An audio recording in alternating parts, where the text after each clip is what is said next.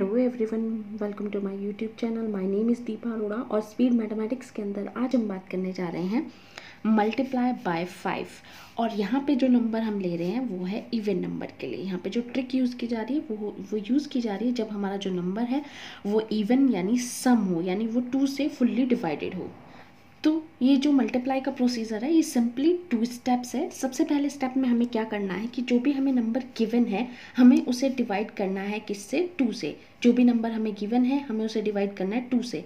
जब हम twenty eight को टू से डिवाइड करेंगे तो जो यहाँ पे हमारा आंसर आएगा, वो आ जाएगा फोर्टीन और उसके साथ में सेकेंड स्टेप में हमें क्या करना है, जो भी हमारा आंसर आता है, उसके साथ में हमें ऐड कर देना है सिंपली ज़ीरो सेम ऐसा ही हम नेक्स्ट क्वेश्चन में करेंगे, ठीक है?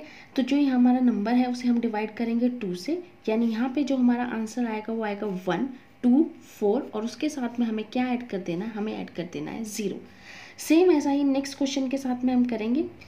जो भी हमें नंबर गिवन है, उसे हम टू से डिवाइड करेंगे। तो हमारा जो आंसर आएगा, वो क्या आएगा? फोर टू टू, फोर, और उसके साथ में सेकेंड स्टेप में हम क्या कर देंगे? सिंपली ऐड कर देंगे ज़ीरो ऐसा इसलिए हुआ है इसके अंदर जो फाइव होता है, वो रिप्रेजेंट होता है टेन बाय टू से। यानी हम क्या कर रहे हैं? जो भी हमें नंबर गिवन हो रहा है, उसको टू से डिवाइड कर रहे हैं और फिर उसके बाद में उसकी मल्टीप्लाई किसके साथ में कर रहे हैं? ज़ीरो के साथ में कर रहे हैं। तो इसी टाइप के और वीडियोज़ देखने के लिए आप हमारे चैनल अभी दीप ऑनलाइन एजुकेशन को सब्सक्राइब कीजिए। अगर आपको वीडियो पसंद आ रहा है तो लाइक और शेयर करना ना भूलिएगा। Thank you